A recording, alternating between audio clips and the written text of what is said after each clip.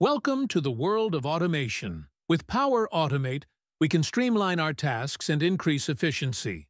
Let's explore the different types of flows. First, we have cloud flows, automating tasks in the cloud. Cloud flows come in three types. Automated cloud flows trigger automatically when a specific event occurs, like receiving an email. Instant cloud flows are triggered manually, with just a tap, like sending a message or data instantly. Scheduled cloud flows run at specific times, whether it's daily, weekly, or monthly. Next, we have desktop flows, automating tasks on your computer. These flows mimic human actions like clicking, typing, or extracting data. Whether you need cloud-based automation or desktop task automation, Power Automate makes it simple and powerful. Start automating today.